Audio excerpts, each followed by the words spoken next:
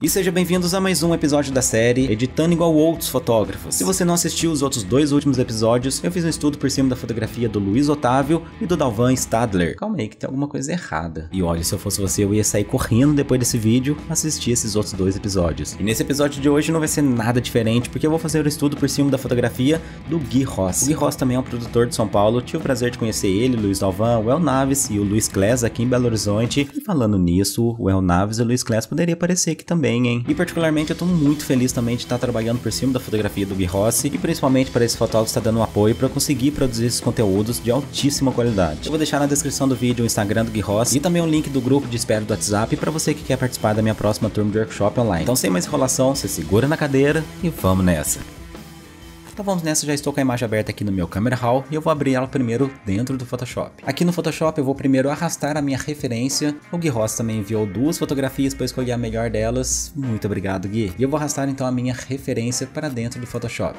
Eu vou duplicar essa layer da referência e posso deixar ela também aqui no cantinho da minha tela. Então agora eu já tenho três layers, a fotografia original e duas referências, uma grande e uma pequenininha. A partir de agora, para quem já assistiu meus outros vídeos, sabe que eu preciso criar as minhas help layers. Para quem não conhece as help layers, eu vou deixar o vídeo delas aqui na direita do card e através dela você vai conseguir fazer uma seleção das informações e consequentemente um ajuste muito mais pontual. Acima de tudo, então, vou criar um Solid Color na cor cinza e adicionar o Blend Mode Luminosity. Essa minha primeira help layer eu vou conseguir fazer uma seleção das minhas áreas de cores e agora então partir para todos os ajustes. Eu vou abrir primeiro meu Camera Raw novamente para começar a fazer um ajuste aqui de revelação e esse vídeo vai ser um pouco diferente porque eu já tenho aqui alguns presets do Gui Rossi. Eu recebi eles em um desafio que o Gui fez lá no Instagram dele e se você quiser adquirir os seus produtos, entra lá no Instagram dele porque lá tem todas as informações e tudo que ele oferece. E antes que você fale que vai ser muito fácil só porque eu já tenho os presets dele, pode ficar tranquilo porque o objetivo principal aqui dessa série é a gente fazer os ajustes localizados lá dentro do Photoshop. Então essa parte da revelação é somente para eu ter uma base e começar a fazer o estudo mais aprofundado lá dentro do Photoshop junto com a minha referência. Aqui nesse caso eu utilizei o preset Pretty House, porém eu já fiz alguns ajustes nele e salvei um outro arquivo que eu posso carregar aqui em Load Settings. Aqui também nem adianta você seguir esses valores porque cada fotografia vai demandar uns ajustes diferentes e o legal é que você consiga abranger toda a ideia para conseguir aplicar dentro do seu trabalho. Aqui só para explicar rapidinho qual foi a ideia que eu tive na revelação, eu esquentei um pouco mais a fotografia aqui pelo meu Temperature e joguei um pouco mais de cores magenta. Fiz alguns ajustes básicos para tentar retornar um pouco a informação das minhas áreas de sombras e tentei manter o máximo possível as áreas de luzes. Como eu falei no vídeo do Otávio, não curto utilizar o Texture Clarity Dehaze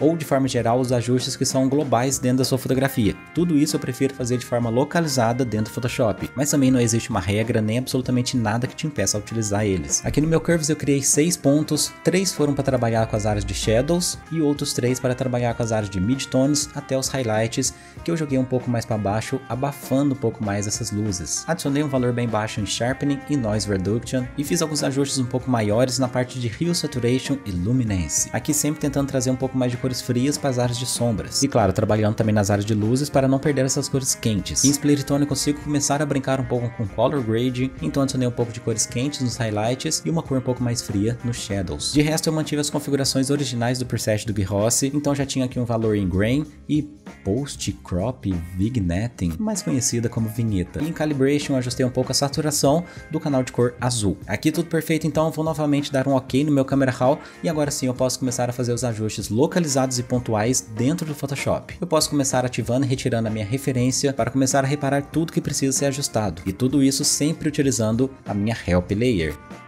Aqui eu vou começar a trazer um pouco mais de cores frias para as áreas de sombras e uma coisa muito importante que eu preciso ficar super atento é que saturação gera contraste e vice-versa. Então sempre que eu trabalhar com as cores eu preciso ter muito cuidado para não ter afetado muito os contrastes da minha imagem. Principalmente quando eu adiciono cores frias eu acabo perdendo um pouco de informação nas áreas de sombras. Então é só tomando um pouco de cuidado e trabalhando junto com os blend modes em color. Vocês vão entender um pouco mais para frente. Então perfeito, eu vou criar primeiro um color balance. Com a minha máscara selecionada eu vou adicionar um apply image, mas antes de tudo, se você não conhece absolutamente nada sobre Apply Image, eu vou deixar o link aqui na direita do card explicando um pouco melhor sobre essa calculadora dentro do Photoshop. Então com a minha máscara selecionada eu vou entrar em Image, Apply Image e vou aplicar nas áreas de sombra. Posso dar um OK?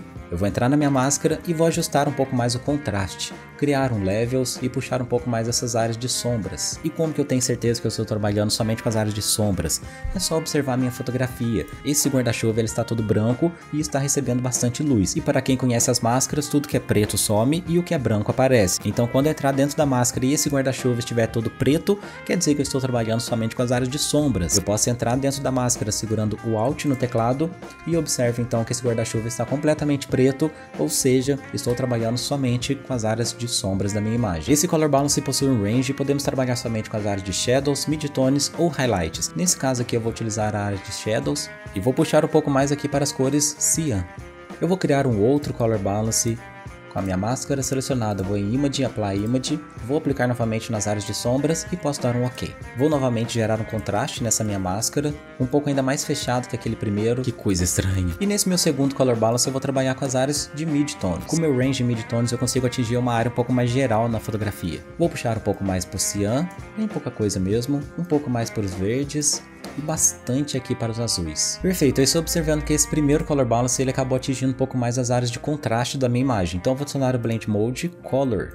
Eu vou ativar novamente a minha referência, e a minha Help Layer. Acredito que a minha cena agora esteja muito saturada, mas eu vou ajustar isso com calma, em layers separadas, e assim eu vou ter uma precisão altíssima. Então primeiro eu vou criar um Hue Saturation para começar a ajeitar a saturação e a tonalidade de todas as cores. Eu vou começar trabalhando no canal de cores Yellows. Vou ativar a minha referência e a minha Help Layer, e eu posso começar a ajustar um pouco mais essa minha imagem aqui no valor de Hue do amarelo.